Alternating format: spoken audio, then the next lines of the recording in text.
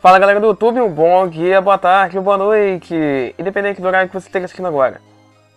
Tudo bom com vocês? Bom, pra quem não sabe não conhece, esse aqui é o canal Nabe cara 95, hoje trazendo para vocês mais um episódio da nossa saga de Castlevania Dell of Sorrow para o Nintendo DS, beleza? Antes de mais nada, vamos dar uma passadinha rápida sobre a parte passada, beleza? Para quem se então na parte passada, nós simplesmente saímos da Wizard Lab Passamos pelo Garden of Magnus e chegamos até a essa área que é a The Dark. Hoje será um dia diferente, será um dia de explorar essa área e, se possível, enfrentarei dois chefes de uma vez só. Querem saber como é que eu vou fazer isso? Então vamos embora. Primeiramente, saindo da sala de save, vamos indo em direção à parte de cima. Cuidado com esse mini devil, se possível, já bate nele primeiro e seguimos em frente. Temos esse inimigo novo aqui também, que é o Gol, e a bruxa. São dois inimigos novos que a gente tem nessa área. O gol que no caso que eu falo é o espectro. Vou estar chamando de espectro aqui, tá? Para que fique mais fácil para que vocês possam entender. Uh, só segue em frente. E são bem tranquilos. Independente do level que você esteja, um, um ataque seu já praticamente mata. Só seguir em frente aqui para esse lado. Nessa área, cuidado com esses fantasmas dançarinos. Que são outro inimigo novo do jogo, mas acho que os dois ataques já matam. Se você chegar aqui nessa área um pouco mais em frente, vocês vão ver que temos esse outro inimigo novo também, que é o Amalaric Sniper, que é uma espécie de é, guardião de asas com uma, um arco e flecha na mão que é meio perigoso pra caramba, tá? Não venham por aqui ainda nessa sala, ignorem, venham aqui pra esse, esse lado esquerdo, detonem esses dançarinos se possível, se não escapem deles, e venham aqui para essa sala na esquerda, e aqui dentro teremos uma sala de teletransporte, beleza? É basicamente a aba de teleporte da Telecable, você, tá? você pode estar tá voltando aqui para a primeira área, você está recuperando vida, comprando poker, comprando arma, etc, etc e tal. É um acesso bem interessante. Vindo aqui agora um pouco mais para essa parte de baixo, vamos matar mais alguns monstrinhos. E agora vamos seguir para esse cantão aqui embaixo que a gente vai ver que temos a criatura aqui na frente. Mais um Frankenstein chato pra caramba. Opa! Ah, não, não, não, não vai vir não. Não, tu vai bater mais de mim não. Tá maluco? Tá doido? Pronto. Atrás pra essa parte aqui e mata. Uma melhor estratégia que você pode fazer aqui nesse momento. Sigam agora por essa sala da esquerda e já vou avisando. É uma das áreas mais difíceis do jogo. Pra mim, em minha opinião, sensato. Primeiro, a gente vai ter aqui alguns espectros e esse Hellbore, que é um porco infernal, essa merda aqui. Né? Nossa, só um dano que eu levei. Olá, linda drible. O esquema dele é bem simples, tá? Level up, chegou level 13.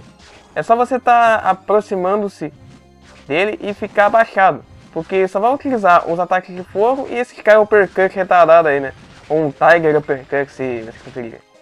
Vou pegar aqui um item do, do espectro, deixou no chão, que foi a comida estragada, né? carne estragada no caso.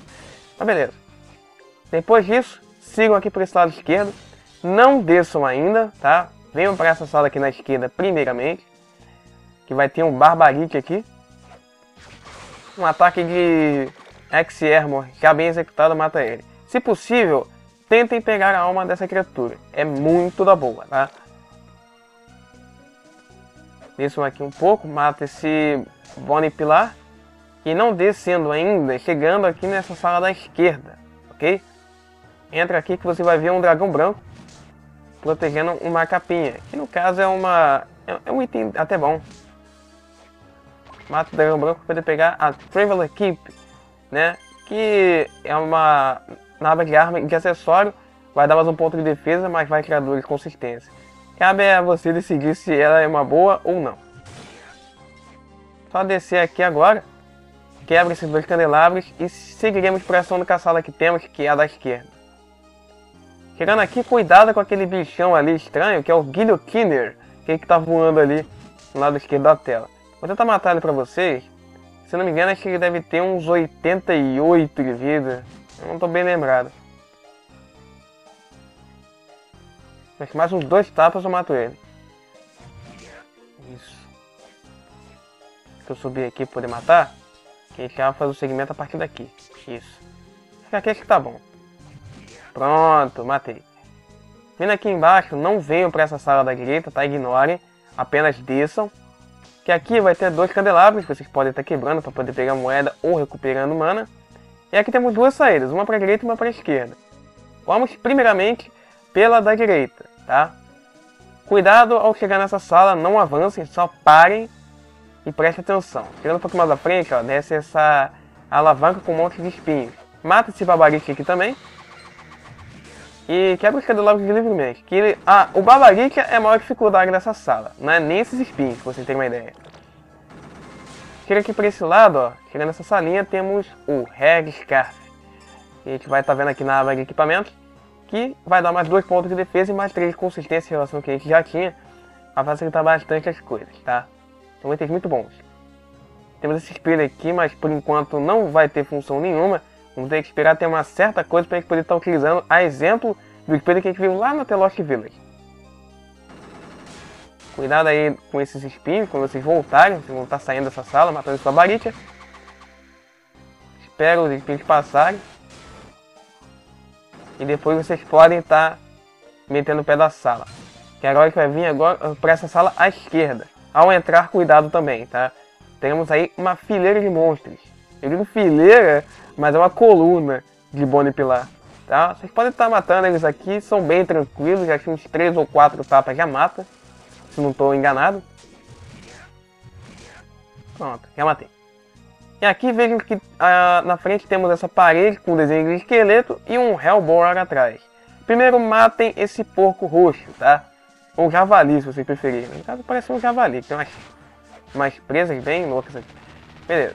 Matando ele, vocês vejam que temos essa parede, tá? Que a gente não pode nem atravessar. Você pode estar correndo, dando carrinho, pulando, batendo, que não adianta nada. O que, que vocês vão fazer? Pressione o botão Start, vem na aba Equipe, na aba de Soul, na aba vermelha e veremos aqui, é, confira se tem alma do Skeleton, beleza? Equipem, tá?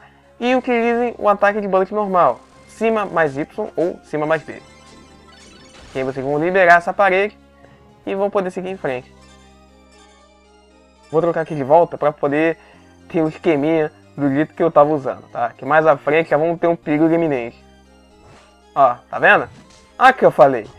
O dragão branco sempre tem que ter essa porcaria aqui, né? Eu ainda não entendo porque chamam essa caveira de dragão branco, né? Dei um carrinho para poder pegar esse halberd, que é uma espécie de arma. Uma espécie de machado barra lança, vai. Eu posso considerar isso aqui como uma lança que tem a ponta do machado ótima arma. Apesar de só dar, só dar mais dois pontos de ataque, é excelente para essa área aqui, tá? Se você tiver um Halbereg quando chegar nessa área, é eficaz, beleza? Só que o único problema dela é que ela só ataca com a ponta. Beleza. Agora é só com a área toda explorada, tá voltando por aqui, tá? A gente pode estar tá seguindo por essa parte de cima, sem ter tantos problemas. Escapa desse Cleaner e vamos subindo a área, tá? Consequentemente eu vou errar um pouquinho aqui porque o controle hoje tá brabo. Olha lá, tá vendo? Tá fogo, esse controle tá um negócio que vou te contar. Tá matando esse manipular aqui pra poder pular pra esse cantão. Porque já vi que os pulos pra esquerda estão dando errado. Beleza. Ok, até tudo bem. Seguir aqui. Essa salinha que tem os espectros, pega os itens que deixaram no chão e utiliza a Halberg para matar o Hellboar mais rápido.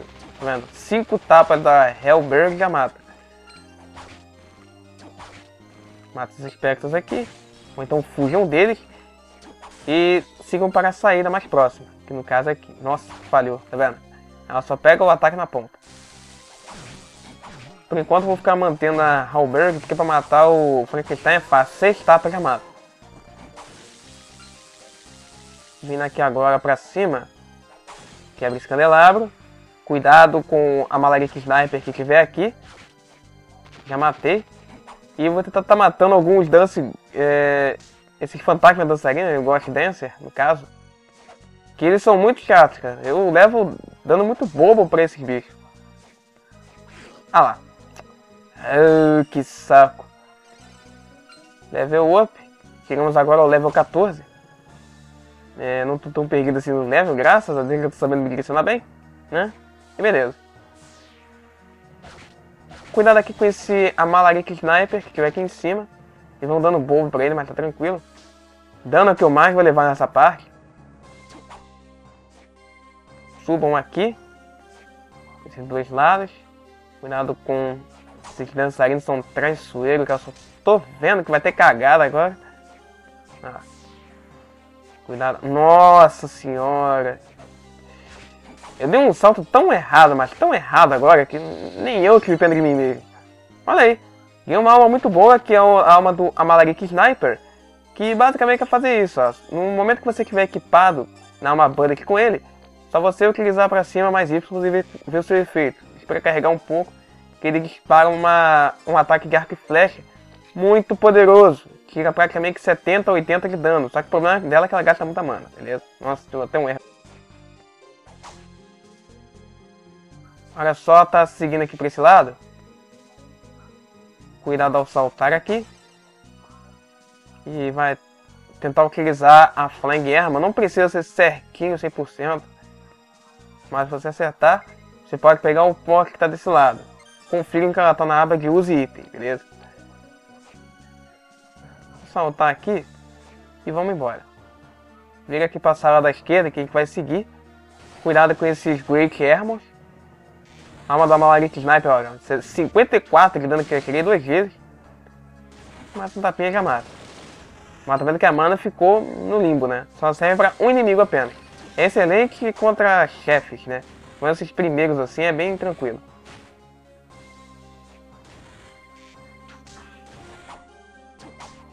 Boa. Isso aí. Agora vem aqui por esse lado esquerdo, depois de matar esse Greek Hermes, o capar deles. Tem aqui para esse canto. E vamos utilizar é, da Falcon dessa vez, poder matar a Valkyrie. Que com Halberd tem que ser muito na pilha. Muito difícil. Isso. Que mira, hein? Se eu não tivesse preparado, se eu não tivesse pronto, tava ferrado. Deixa eu ver, trocar aqui de alma, vou usar o X-Ermo. Que vai ser melhor passar essa parte. Vai ter essa bruxinha aqui. Cuidado com ela e com o fantasminha, camarada detona esse fantasma aqui também. E vamos ter que pegar essa plataforma aqui descer, mas vai ser coisa muito rápida. Saltando aqui, muito cuidado. Saltem direitinho aqui para esse canto. E metam o pé esquecendo de todos os itens possíveis, tá? Só ir embora. Chegando aqui nessa próxima sala, viramos primeiramente para a parte de cima. Quebrem o candelabro, mas não sigam para essa sala da direita, tá? Sigam para da esquerda, porque aqui vai ter uma salita de save pressionem para cima. Se quiserem podem salvar, mas o objetivo aqui meu vai ser recuperar a vida, tá? Então não vou salvar. Vamos aqui descer, seguir para essa parte de baixo, porque gente já está chegando perto do nosso objetivo. Que vai ser enfrentar, não um, mas dois chefes. Primeiro, vai ter essa salinha aqui, né? Que vai ter um subchefe. Ou no caso pode ser chefe também, acho que eu posso considerar como chefe do castelo, toda dificuldade. Então simbora. Eu vou estar equipando aqui a arma com Skeleton para vocês verem como é que vai funcionar o esquema. Vai ter essa cutscene, né, que vamos ver o Dimitri enfrentando um monstro muito horroroso, que por enquanto ele não sabe qual é o nome, que nunca enfrentou ainda. Ele vai detonar com uma facilidade incrível. Queria ter o poder que ele tem, né? Mas beleza. E ele vai mostrar pra você que tem uma habilidade peculiar. Que habilidade é essa, na verdade? Eu vou estar explicando para vocês logo depois dessa cutscene para gente poder complementar a database desse nosso próximo adversário. Porque vai ser o nosso chefe de agora. Então preparem-se para a batalha contra Dmitry Blinov. Dmitry é um camarada muito chato. Ele tem uma habilidade especial que permite que ele copie ataques que são lançados contra ele. No caso, ataques dos monstros do castelo ou os seus ataques de Souls. Utiliza esse nome do Skeleton para acertá-lo que você vai ter uma, uma base bem interessante. E utilize qualquer arma, como uma lança ou uma espada, que vai facilitar muito que você possa destruí-lo com facilidade. Contanto que você não utilize outros ataques bullet, porque isso vai anular as que você já usou contra ele, você vai ter a facilidade incrível de detoná-lo, tá? Utilize apenas de armas. A alma do esqueleto primeiro, você ter a facilidade de bater, e a alma. Procure não ficar perto dele, porque quando você fica muito próximo e utiliza combate knife, tira muito dano, de 36 a 50 no mínimo, tá? Uh, ele fica usando as esquivas, o salto, o ataque de Skeleton e o ataque da Combat Knife ele fica andando igual um retardado mental. Quanto que HP que ele tem? Mil. E já acabei com ele agora. O bom dessa batalha é que você não vai precisar usar o Magic Seal. Beleza. Agora foi fácil, tranquilo. Já detonamos aqui o camaradinha. Já praticamente morreu. A alma dele foi sugada pelo som, mas não sabemos o porquê ainda. Mesmo sendo um humano, é bem estranho isso. Mas beleza. Agora, caso vocês queiram, vocês podem estar voltando para a sala de save para recuperar a vida, porque esse chefe agora vai ser muito chato. E sim, já teremos o chefe logo na sequência. Só vocês subirem aqui, quebrarem esse candelabro se vocês quiserem, para pegar dinheiro, mano, ou o que vocês preferirem. E vejamos que temos um anel ali em cima que a gente não pode pegar ainda. Então ignorem, sigam para esse lado que agora a gente vai precisar fazer o seguinte: trocar para Falcon, aqui no meu caso. Eu estou só deixando para indicação de vocês. Vou trocar para X-Armor, que é melhor para poder matar esse bicho. Então, seguindo para a sala, cedo aparecendo na tela e seja o que Deus quiser. Vamos lá. Vem para a sala aqui na esquerda, respirando um pouquinho antes de entrar. E olha só, esse é o nosso chefe de hoje o verdadeiro, o original, o principal, o Malphas. Ele que tem 1200 de HP, não é lá muito grande coisa. Ele no máximo vai ficar voando e utilizando três tipos de ataques diferentes. Um deles são essas bolas das sombras, que ele vai ficar utilizando de toda e qualquer maneira, um ataque muito lento, fácil de se esquivar com um salto. Ele também vai utilizar um ataque especial que a partir do momento em que ele salta ó, com esses corvos, ele vai saltar e atirar o ataque para onde você for. Nesse caso, se você ficar mais ou menos embaixo dele, que você vai conseguir se esquivar. Tem esse ataque também, que ele atira um monte de penas, e é basicamente isso que ele vai fazer. Só. Tá? Não fiquem exatamente embaixo. Procurem ficar pelo menos um pouquinho mais para a esquerda ou para a direita dele, para você poder estar se esquivando de todos os ataques com perfeição. Tá? Fica essa dica para vocês. Se eu aparecendo na tela, só vou fazer aqui rapidinho. E beleza, pessoal. Malphite eliminado. Conseguimos a, a, a dele, né? Que você já deve imaginar qual seja. E conseguimos aqui agora pegar uma boleta com 300 HP. Agora já cheguei no level 15. Ou melhor, 16 no caso. Vendo aqui na aba de Ability, é, se a habilidade está ligada, no caso, como na minha, né? Tem que estar tá em on e não em off. Se tiver em off, vai estar desligada. E aí vocês vão poder ver que vocês vão ter a possibilidade de saltar duas vezes, tá? Vocês têm um salto no meio do ar. Agora sim, finalmente a gente vai ter acesso a muitas áreas do castelo que a gente não teve até agora. Primeiro, vou estar só voltando aqui, quebrando os candelabros, e tentar que pegar... Lembra daquele anel que estava aqui em cima? A gente vai tentar pegar ele aqui.